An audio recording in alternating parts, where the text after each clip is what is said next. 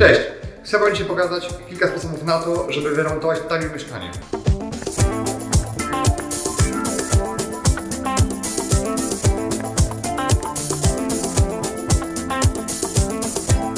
Przy remontach mam taką bardzo ważną zasadę. Nie rób w mieszkaniu tych rzeczy, które wiesz, że później klient Ci za nie nie zapłaci.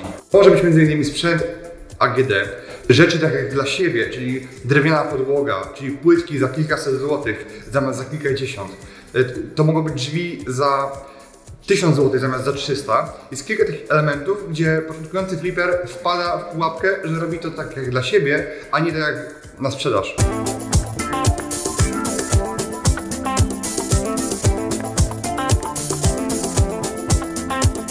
Duży wpływ na ceny remontu wpływa cena materiałów, które mamy. I nie chodzi o to, żeby robić tanimi materiałami, bo to się nigdy nie opłaca.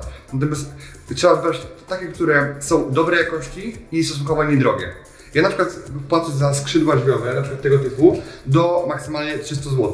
Płytki staram się kupować na przykład z drugiego gatunku, gdzie zamiast płacić 200-300 zł, płacę kilkadziesiąt za metr kwadratowy.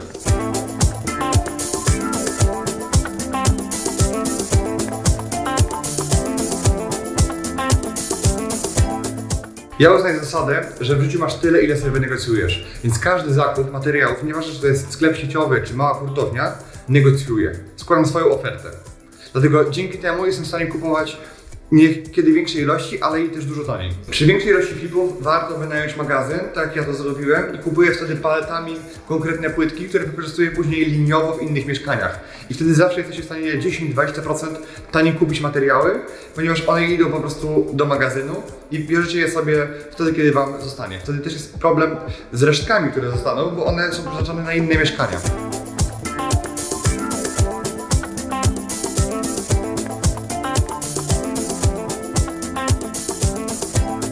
Przy remontach na flipach bardzo ważna jest optymalizacja czasu flipera, bo jeżeli on jakby działa w chaosie, to traci dużo więcej czasu. Dlatego my używamy takiego narzędzia w postaci listy zakupowej, tak żeby konkretny flipper albo Krzysztof, który u mnie zajmuje się zakupami, wiedział konkretnie na którym etapie co ma kupić, tak że nie, nie musiał lecieć kilka razy tego samego dnia do, do marketu i coś domawiać.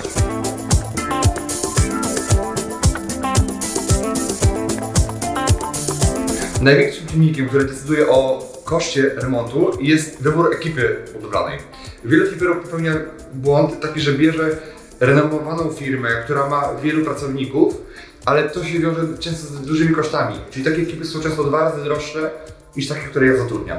Bo taki właściciel takiej firmy musi utrzymać siebie, swoją rodzinę, swoją asystentkę księgową, brygadzistę i cały zespół ludzi. Natomiast ja wolę zatrudniać ekipy, które są dwuosobowe, które mają pełny zestaw kompetencji do tego, żeby robić samodzielnie mieszkania. I wtedy ja płacę zasadne pieniądze, godziwe wynagrodzenie tym dwóm osobom, które potrafią zrobić wszystko w tym mieszkaniu. I dzięki temu znajduję ich o wiele taniej. Natomiast jak ich szukać?